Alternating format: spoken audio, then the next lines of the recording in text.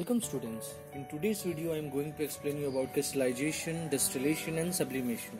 Now start with crystallization.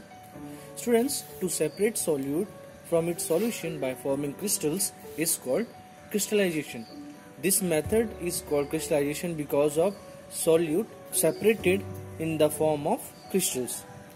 For example, copper sulfate crystallization. In this experiment, we need some quantity of water in the beaker and some quantity of copper sulfate. Now, add some copper sulfate in water and stir it. After dissolving, add more and more copper sulfate till reach saturated solution. Means no more copper sulfate can be dissolved after this. Okay, then filter this solution with filter paper to remove impurities and let it cool slowly then after some time you will see some crystals of copper sulfates are formed. So in this way we can separate copper sulfate in the form of crystal.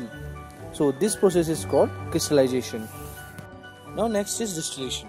Students the process of purifying a liquid by the process of heating and cooling is called distillation.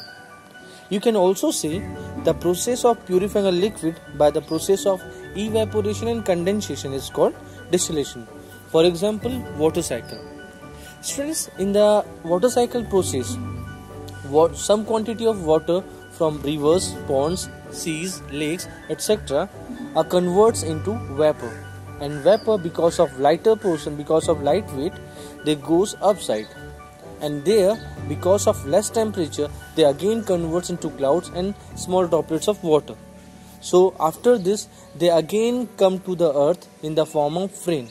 So in this process water converts into vapor because of evaporation and again vapor converts into water because of condensation. So in this way we can say the process of a purifying liquid by the process of Evaporation and condensation is called distillation. Now there is one more example of distillation, separation of salt from seawater. In this experiment, okay, put some the salt solution in a conical flask and heat it.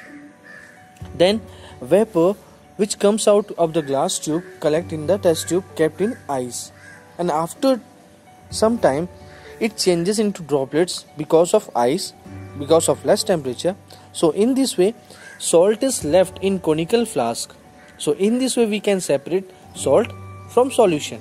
This is also called distillation method. And the last is sublimation.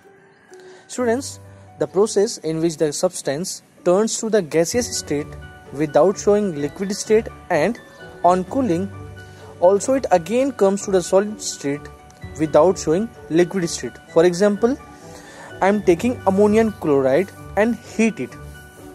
After heating, it turns into gaseous state without showing liquid state. And on cooling, it again come to the solid state without showing liquid state. So in this way, this type of method is called sublimation method. Thank you.